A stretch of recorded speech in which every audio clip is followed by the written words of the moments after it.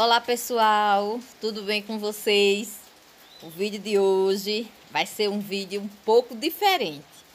Mas vou logo dizendo que estamos todo, todos bem, graças a Deus. E que vocês também estejam tendo um dia bom, um dia abençoado. Hoje aqui é um daqueles dias que não dá para você fazer nada. Ó, estamos a quase 24 horas seguidos de chuva. Vocês acham que tá aqui sem chover, mas tá não, viu? Tá chovendo. A gente veio aqui socorrer uma vizinha. Ela tava a gente nas coisas de casa e viu o latido das, das cachorras. Aí quando ela saiu, essa cobra ela tava tentando atacar a, o cachorro, é uma cachorra, uma pareia, né? Um cachorro e uma cachorra. Aí ela chamou a gente pra gente ajudar aqui. No caso aqui a gente tá tirando essa cobra de perto da casa dela, porque assim é linda, é um animal que ele não é um animal venenoso, é uma jiboia. E assim, mas assim, para animais pequenos, ele, ela é um predador, né? Ela se alimenta de animais pequenos, como aqui a vizinha da gente tem galinha, tem peru, tem pato e tem cachorro, esses animais se tornam presa para servir de alimento para essa cobra. Aí a gente tá aqui, eu, Paulo, todo, Diego aqui. Diego foi mais Paulo ali cortar um gancho pra gente tirar ela de perto de casa. Aqui é tipo uma ladeira, ladeira, ladeira. E a gente tá aqui, olha, pesadona, viu, pessoal? Pesadona e é teimosa, viu? Que a gente já fez de tudo pra espantar essa cobra. E olha que tem bastante espaço por aqui para ela se esconder ela veio procurar abrigo aqui, bem próximo, bem próximo à residência. Aqui, ó, nessa ladeira, tem esconderijo ideal para cobra. Tem tanta loca de pedra, muita loca de pedra. E assim, acredito que é devido à escassez de alimento, ela termina vindo é, para próximas residências para procurar animais, rato, até mesmo pinto, para se alimentar. Mas aqui, ó, para evitar que ela se exponha, né? E venha, dependendo, tem pessoas que realmente mata. Infelizmente é a verdade. Mas assim, não é o nosso caso. A gente está tentando afastar ela aqui. Vamos tentar é, levar ela até a mata que tem aqui embaixo. Para poder ela seguir o rumo dela. E na mata eu sei que tem muito alimento também para ela. Tem rato, tem lagartixa, tem aqueles caçacos que serve de alimento. E ela tá até bem gordinha, viu? Olha, eu acho que ela deve ter comido algum, algum inseto, algum bicho. Porque assim, ela tá bem cheinha, bem cheinha mesmo. Mas ela tá arisca. Vocês não imaginam o barulho que essa cobra já fez, viu? E ela não dá as costas pra gente. Pra onde a gente gira, ela gira com a cabecinha. Veja só. Com a cabecinha pro lado da gente. Sempre na posição de ataque sempre na posição de quem quer dar um bote. E assim, a gente, claro que a gente tem medo, né? Muito medo, muito medo. E assim, o primeiro, o primeiro é, que é tipo, eles estão pegando um, um pau com gancho para tentar afastar ela. O primeiro quebrou, não deu certo, porque ele era fino e ele já estava um pouquinho estragado. Aí quebrou logo. Aí Paulo e Diego foram cortar outro ali, fizeram tipo um gancho aqui de um arame para tentar afastar ela. Acredito que chegando mais ou menos uns 100 a 150 metros da residência, ela segue o rumo dela e aqui a nossa tarefa está cumprida. Porque é, teve uma vez que chegou uma bem perto de casa. Eu até cheguei a ligar para o Ibama, mas ele falou que se não tiver é, demonstrando nenhum por exemplo, estiver dentro da residência ou em algum lugar que não tem animal, que você não tem como retirar o animal, é só você deixar ela lá que depois ela segue o caminho dela. E foi isso que aconteceu lá em casa. Ela estava até é, no stay da cocheira. Essa daqui, né? Essa um pouquinho distante, tava no terreiro. E a gente vai aqui, dá um tempinho, ela se acalma. E assim, como aqui é uma ladeira, conforme a gente vai empurrando, ela vai deslizando, deslizando, vai tipo de ré, viu?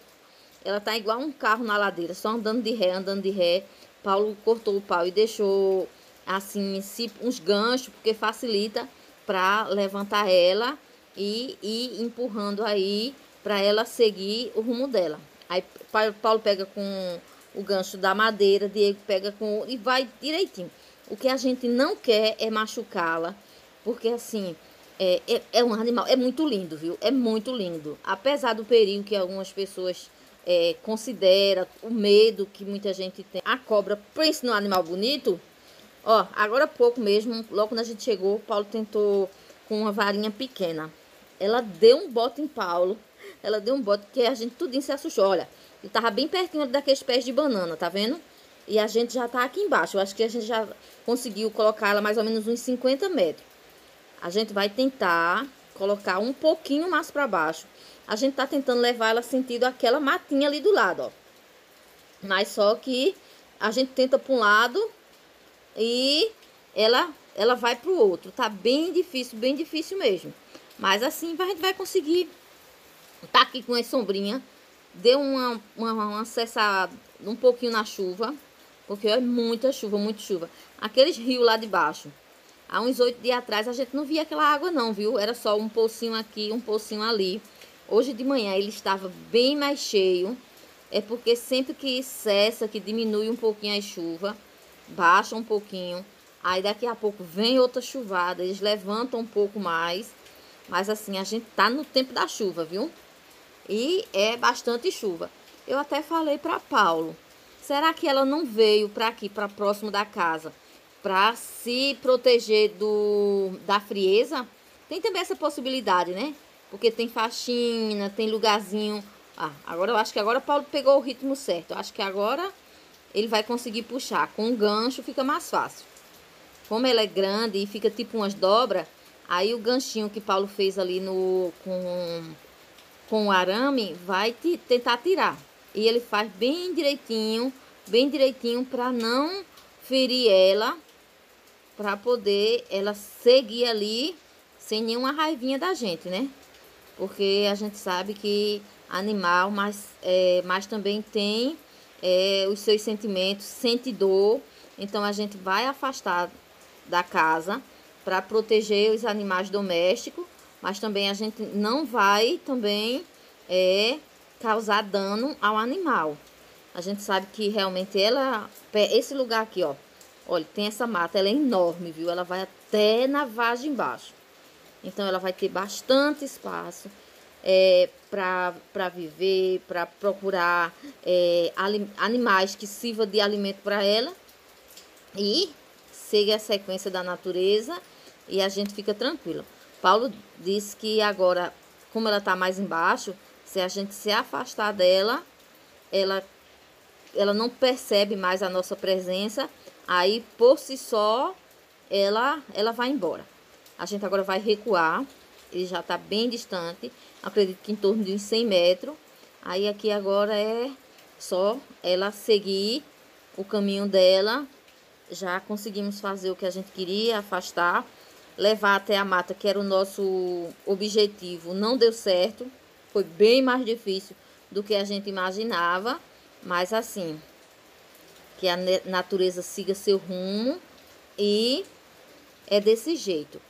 Esse, essa cobra, ela consegue é, se alimentar com muito inseto que seria predador da lavoura. No caso, o rato, que o rato aqui a gente planta o milho, tem muito rato, muito rato. Muitas vezes, antes do milho secar, ó, tá vendo? Que ela tá indo embora. É desse jeito a gente faz um pouquinho a parte. Eu mesmo assim ainda tá braba, viu? Tá abrindo a boca. Tem hora que ela quer ir, tem hora que ela quer voltar pra gente. Mas agora que ela siga seu rumo e a gente, ó. Se a, enquanto a gente se movimenta, ela se movimenta também. Mas aqui já tá distante e vamos embora e que ela fique aí, que dê tudo certo. Gente, é, esse, esse animal, ele chega a ser tão maior do que esse que tá aqui no vídeo, viu? A gente já viu é, jiboia bem maiores, bem maiores que essa. E assim, a gente sabe que a diminuição das matas causa, causa isso. Ela termina vindo para as residências porque diminuiu o habitat natural dela, né? Então a gente tem que saber que foi o homem que fez isso e a gente não pode é, chegar e penalizá-la por um erro que é nosso, né? Nós que diminuímos o habitat natural dela, aí ela tá vindo até nossas residências.